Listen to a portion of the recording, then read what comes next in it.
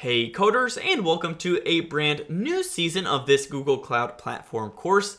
In this playlist, we're going to be covering the Compute Engine service, starting out with this introductory episode where we'll be giving an overview of it.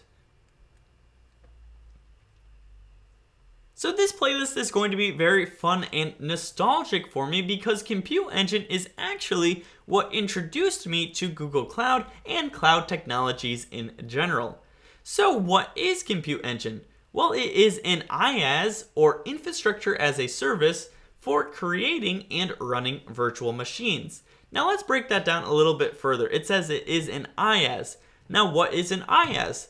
Well, in the past, if you wanted to create your own computing resources and maybe databases, maybe load balancers, that would be considered infrastructure and you would have to put in a lot of upfront capital and time to build that infrastructure out, right? You would have to put in months and months of of time and lots of dollars to build out all of the servers and get all the hardware that you would need to, to make all of this computing resources.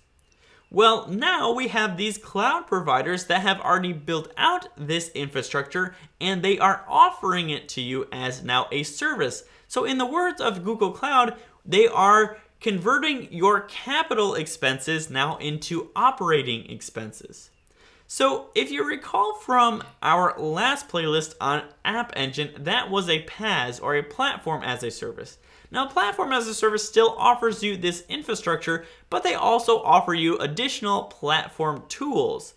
So as you can see, the infrastructure as a service is just offering you the infrastructure and so that means a lot of the configuration is going to have to be done on your side. Again, it's a little bit lower level, but it does require you a lot more control. But again, there is that learning curve, but you won't have to worry about that after you watch this playlist. So this is again an IaaS and it also says for creating and running virtual machines. Now what is a virtual machine? Well we're going to be getting this, we're going to be getting into this a little bit more deeply in the next episode. But for now, you can think of a virtual machine as basically just a computer that's on the cloud.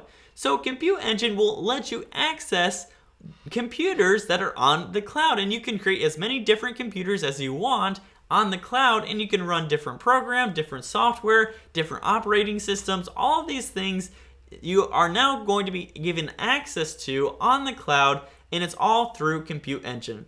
All right, I'm going to stop right there and wait until the next couple episodes to get more in deeply. But for now, let's just head on over to the live demonstration so that we can get oriented on the Compute Engine dashboard and all of the features of it.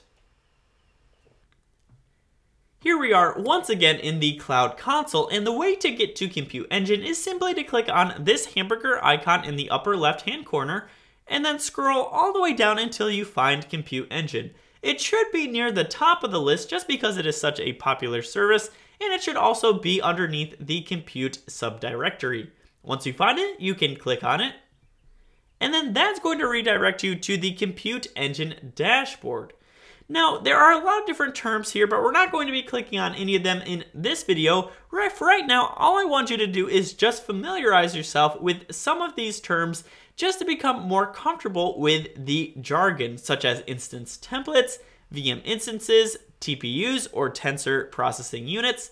We have disks and snapshots and images and a whole lot of other terms. Again, I just want you to look over them right now. But then in the later episodes of this playlist, we're actually going to be going through them one by one and learning more about them. Alright guys, that's going to be it for this video, but I hope you enjoyed it and I hope you learned something from it. If you did, don't forget to hit that like and subscribe button. It really means a lot to me. And I'll see you in the very next episode when we begin learning more about virtual machine instances.